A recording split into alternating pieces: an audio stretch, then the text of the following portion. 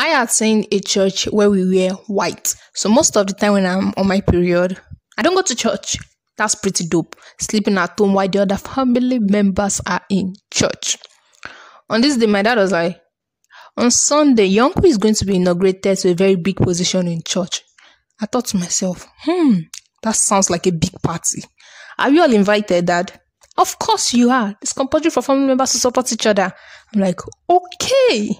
On Saturday, before I slept, I had this very slight stomach pain. If I drink water, I'll be fine. Slept and woke up, my bed was a mess. Esther, you're on your period now. Congratulations.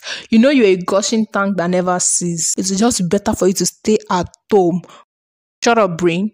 We'll get through this. You're trying to tell me that out of all of my siblings, I'll be the only one at home. Doing what? No, never. I went to a boarding school, remember? And I've seen my mates stack pads before using it. Time to put that knowledge to use. After stacking, I was ready. I jumped into my white clothes. My brother came to pick us. In the car, very conscious of how I sat. I had the sense of, I'm very comfortable. Nothing can happen. We got out from this car. You know when you just stay, stay, you turn to check your back. No stain. No problem. I just broke the law, you know. You can be on your period and still wear white. Nothing would happen. Drum roll for me, please. When we got to the church, a lady was like, How old are you? How is lady asking me nonsense question? I'm 16. At that time, she was like, Go to the children's place. Does 16 sound like a child to you? I'm a teenager. Teenager. God damn it. I left for the children hall.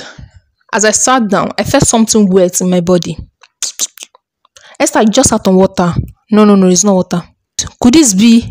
No, that can be. That can be. Won't you check it? No, no, no, no, no, that can be.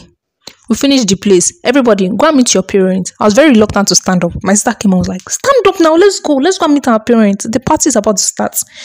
I'm like, babe, relax, relax. Let me count one to five. One, two, three, four, five. Stood. Started walking. I was about to step out of the compound. Call that girl back. Call that girl back. Don't allow to go out. I heard one of the teachers shout. I'm like, holy crap, what is this? What do you mean? Why are you calling me back? Please, God, hope it's not me. I was going, going. She just touched me. They're calling shit, it's me. I moved closer to her. She started, baby girl, did you just start menstruating today? Esther, answer yes. Answer yes. You don't want to tell her you stag yourself up. You don't want to tell her that you're a gushing tank. Answer yes. Answer yes. Yes, ma'am. She continued. That's so sweet, baby girl. You are not a woman. I was looking at her. Skip the story and see what I can do to fix this mess up. You know those kind of people that will just intentionally give you some bloody lecture you didn't even ask for. She continued.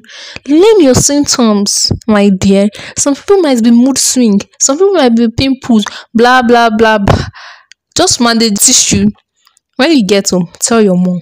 After that, I did not sit fully on any chair. I sat at the tip. Esther, why are you not sitting well? Nothing, nothing. I like it like this. I like it like this. Even in the car, I sat on my hand.